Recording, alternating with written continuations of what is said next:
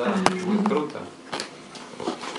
Чтобы свет попадал. Вот видишь, свет должен попадать именно на Буди. То есть должно видно будет их. Да, вот так. Да, да, не нас. Это же круто не нас, а, а Буди, короче. Ну давай попробуем. Видно? Да видно? Вот, давай. Вообще.